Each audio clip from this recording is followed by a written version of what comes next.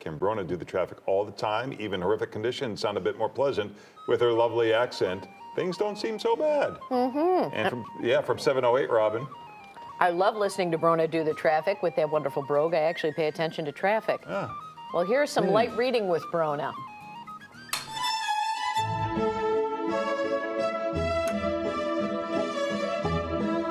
Time now for light reading with Brónagh Tumulty. That's me, Brónagh Tumulty. I'm going to read to you now.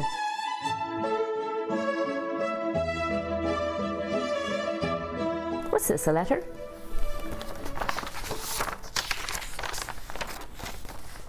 Lord of the Limerick is a great work of art. He's handsome, athletic, and smart, and it's easy to see he was made just for me, and nothing can tear us apart. Oh my!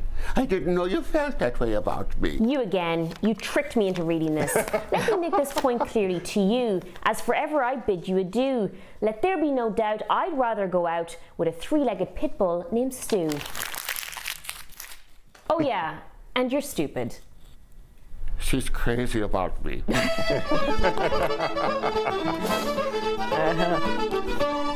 That concludes this episode of Light Reading with Brónagh Tumulty. That's me, Brónagh Tumulty. Keep reading, Chicago.